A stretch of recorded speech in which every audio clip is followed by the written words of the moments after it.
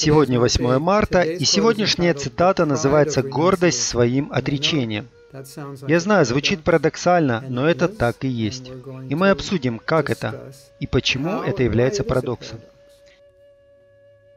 Некоторые люди смогли отказаться от всех видов гордыни и мирских привязанностей. И тем не менее, гордыня все еще влияет на них, потому что они думают, у меня нет материальных привязанностей. Нарадия Пурана. Сложность заключается в том, что чем больше мы продвигаемся, тем более становимся подвержены гордости при мысли о своем прогрессе.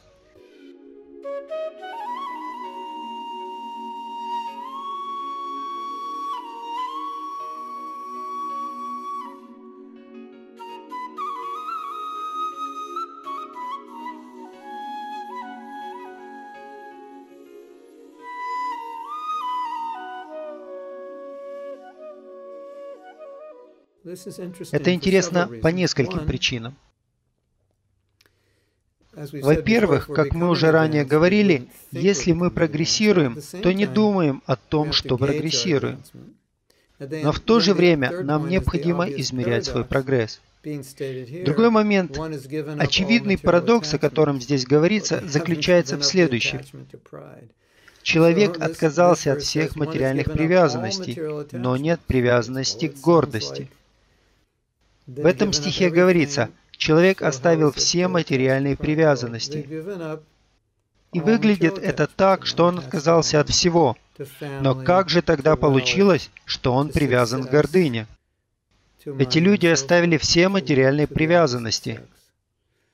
Нет больше привязанности к дому, семье, богатству, успеху, деньгам, к противоположному полу и так далее. Но интересно, что человек, который отрекся, начинает гордиться своим отречением.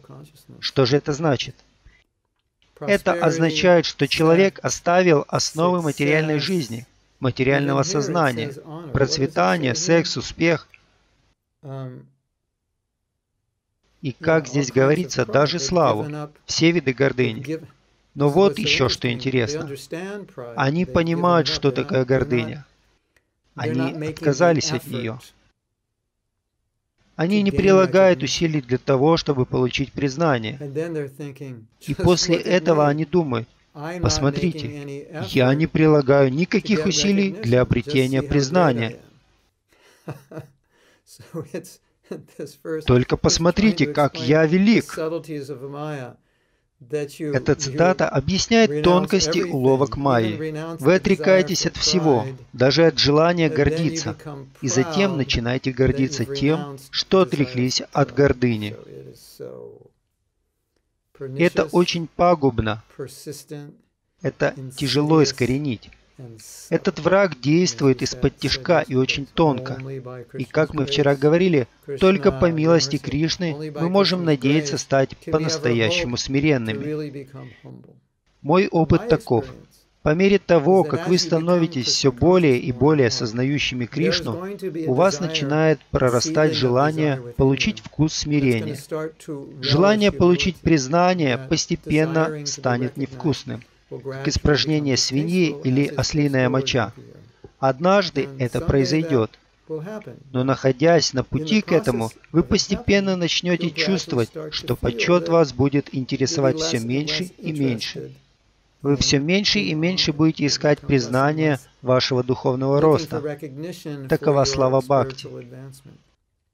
И хотя великие мудрецы отрекаются от всего, они все же не могут отречься от желания получать прославление или от желания гордиться своими достижениями. Но преданный может. По милости Кришны, преданный может даже отречься от того, чтобы считать себя духовно продвинутым. Он просто чувствует вкус к тому, чтобы быть очень незначительным.